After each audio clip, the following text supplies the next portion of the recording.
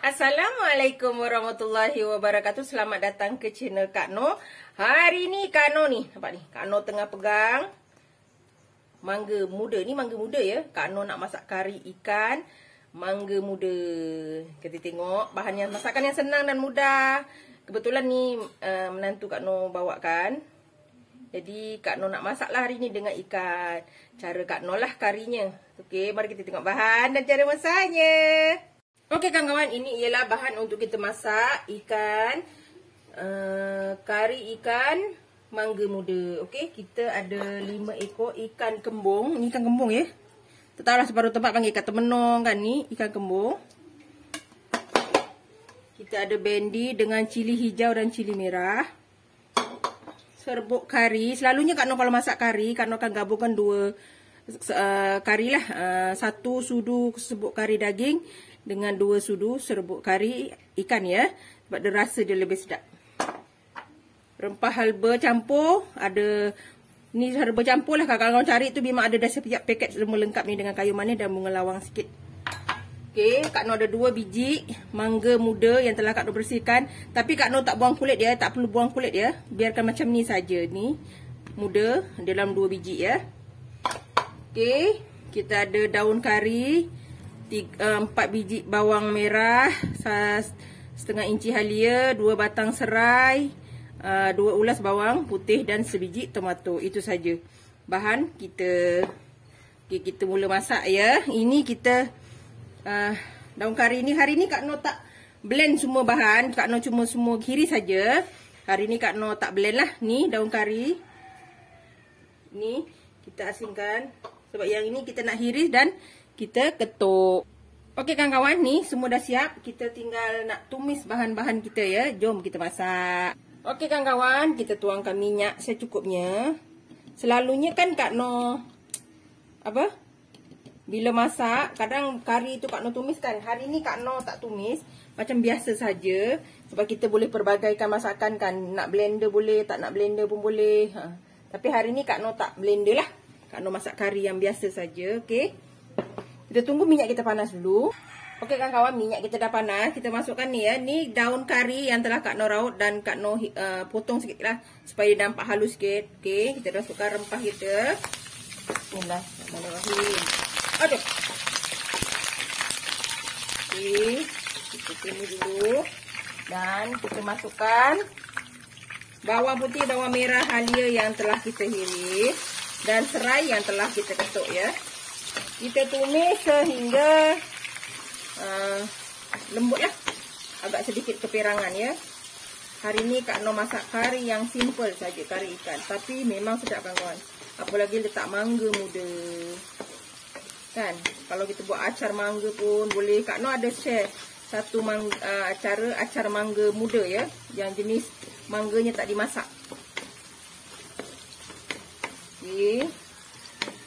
Kita tumis ni sampai warnanya sedikit kepirangan. Okey, setelah gayu begini, kita tuang air ya. Ini memang cara Kak No masak kari lah. Kak No akan letak air. Tunggu sampai mendidih baru kita letak rempah kita ya. Okey kawan-kawan ni dah mendidih. Kita masukkan serbuk kari kita ya. Bismillahirrahmanirrahim. Tapi yang ni kari dia bukan pekat ya. Dia tak pekat ya. Kari kita yang untuk ikan ni kita tak perlu pekat macam daging. Kita memang kena macam buat macam gulai kan. Ini Kak Noh masukkan satu sudu serbuk cili ya. Supaya dia lebih mantap lah. Rasa dia lebih sedap. Okey. Kita tunggu mendidih lagi sekali. Baru kita tuang air biar rempah kita pecah minyak dulu. Dah pecah minyak elok, masak elok baru kita letak ikan kita ya. Okey kawan-kawan ni dah mendidih. Okey, kita masukkan air ya. Kita masukkan air dulu. Okey.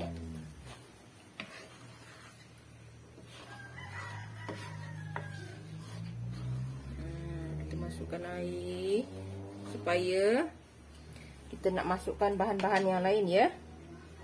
Kak Noh letak serbuk kunyit sikit lah. Supaya kari kita lebih cantik ya. Kita tunggu dia sampai mendidih. Tadi Kak Noh tak nak letak sekali. Sebab Kak Noh nak letak sikit je kunyit. Kalau kawan-kawan nak letak ketika menumis rempah tu boleh saja. Ni tak anu dah. Letak sekarang. Sebab kita masih lagi proses masak kan. Okey. Kita tunggu uh, semua ni masak ya. Kita oh, tunggu masak. Mengarut dah.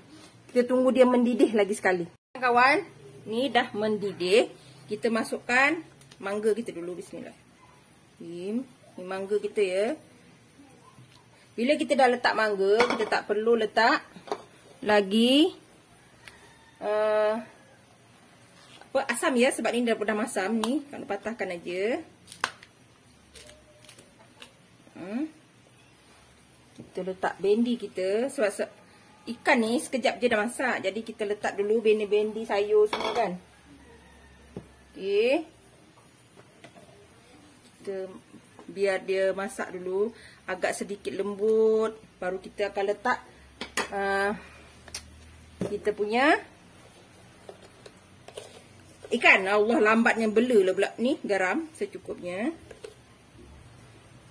Okey kalau nenek Kak Nur dulu kalau kita masak selalunya kita akan rasakan tapi nenek Kak Nur dulu dia boleh tahu lauk tu kurang garam nenek Kak Nur macam tu lah ni secukup rasa ya dia cakap, alah, itu memang kurang garam tu, dia kata.